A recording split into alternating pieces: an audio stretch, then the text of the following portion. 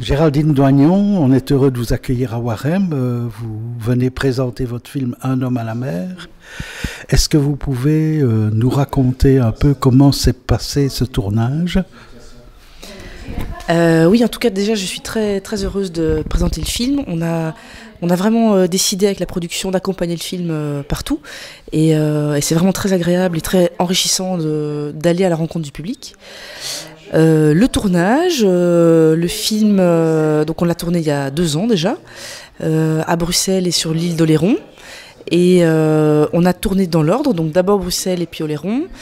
Et, c'était un tournage hyper agréable parce que je pense que l'équipe était vraiment avec moi dans, le film, dans l'histoire, qu'on a, on, a, on y a tous mis d'une autre, quoi. Et c'est super de voir aussi bien les comédiens et l'équipe technique euh, se donner comme ça, m'accompagner comme ça. Euh, pourquoi est-ce que ça traite d'une histoire de biologiste, par exemple, qui part à la recherche de sa belle-mère Il y a des côtés un peu autobiographiques dans tout ça, partiellement? Il y a plusieurs, euh, j'ai eu plusieurs sources d'inspiration.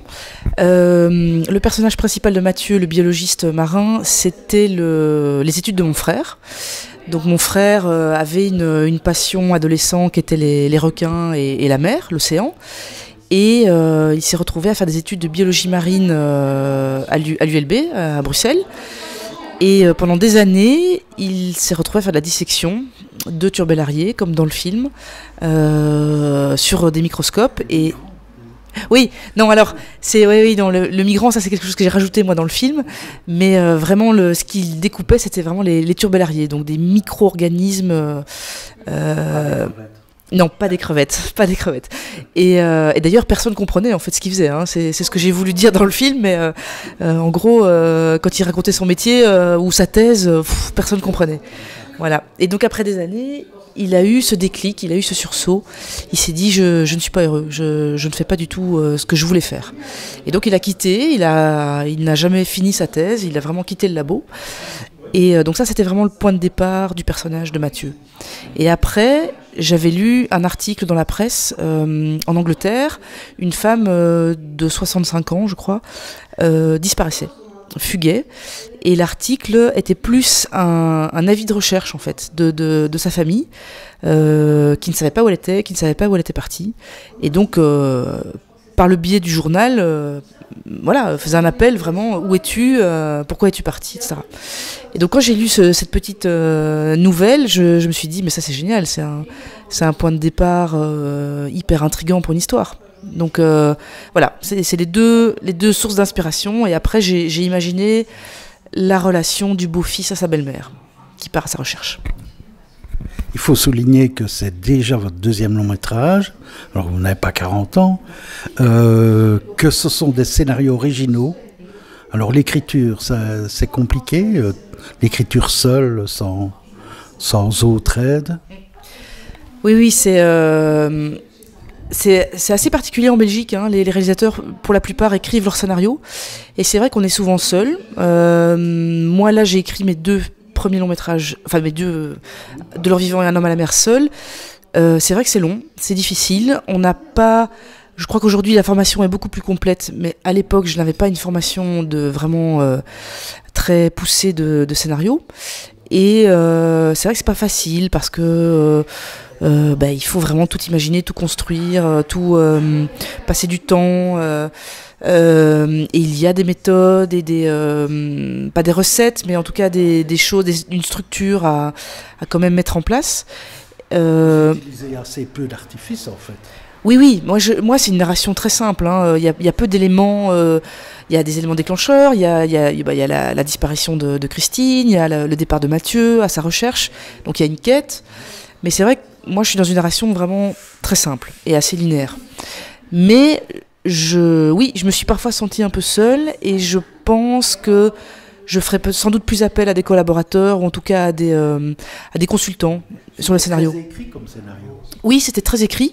C'était pas évident parce que c'est un film où il y a peu de dialogue, euh, où j'essaye d'exprimer euh, des choses pas par le dialogue, pas par les mots.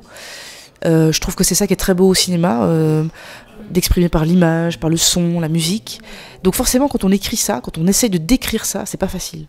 Et, euh, et, je me rappelle que le, le, la recherche de financement sur le scénario que j'avais écrit, parfois les, les, gens ne comprenaient pas vraiment ou ne n'imaginaient pas ce que je voulais faire euh, à l'image, à la mise en scène. Et, euh, et je pense que ça, c'est, euh, enfin, moi j'aime beaucoup ça en tant que spectatrice, de voir des films comme ça. Et ça, c'est pas facile de, l'écrire. Voilà. Un des points forts du film, c'est son interprétation aussi. Oui.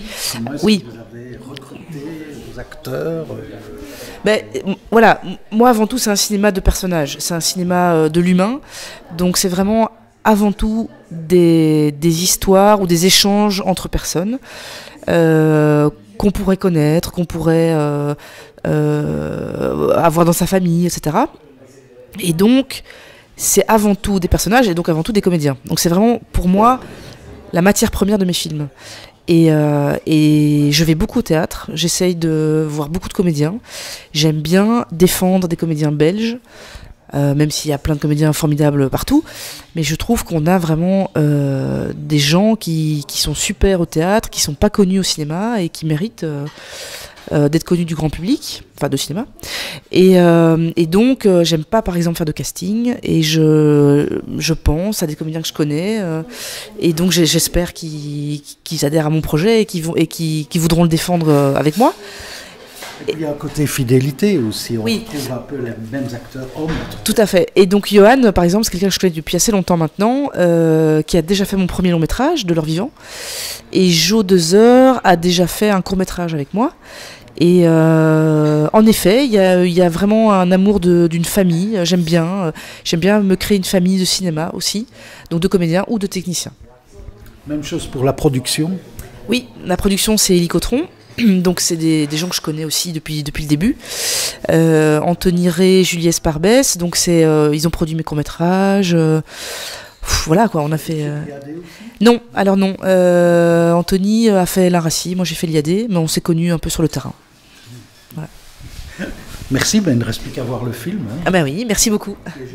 Merci, merci beaucoup.